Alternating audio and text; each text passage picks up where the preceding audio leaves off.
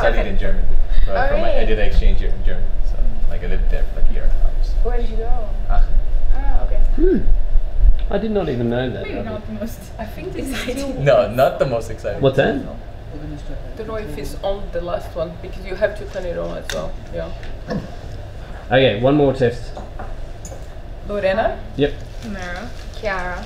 Anna. Rabbit. Rabbit. Okay.